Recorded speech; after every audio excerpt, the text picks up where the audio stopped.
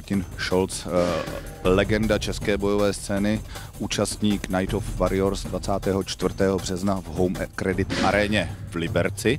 Tvůj soupeř je Ahmad Gasanov, říkám-li to správně. Můžeš nám, máš takhle, máš nějaké informace k tomuto soupeři? No, nemám vůbec nic, nevím. Je to soupeř na poslední chvíli, vím to týden. Vím, že je z Ruska a že je vysoký. To je všechno.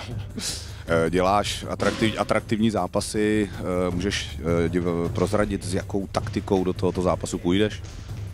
Tak protože nic nevím, tak taktika žádná speciální není prostě no.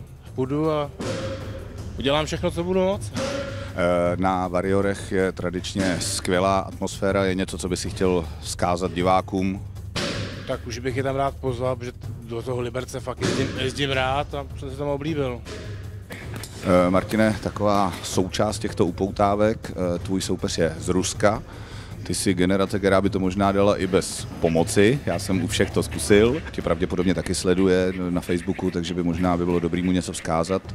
Těším se na tebe, eh, bude to válka a v té válce vyhraju já, ale samozřejmě rusky.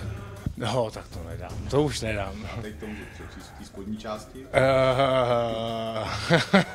Uh, tak to nedám, počkej, Jas netrpím z Duna Tiba, je to bude vojna. Je to bude vojna. To stačí. Dál, dál. I v této vojně já pobezdáju. Takže to byl legendární bojovník, kterého uvidíme na Night of Warriors 24. března. Martin Scholz, děkuji za rozhovor.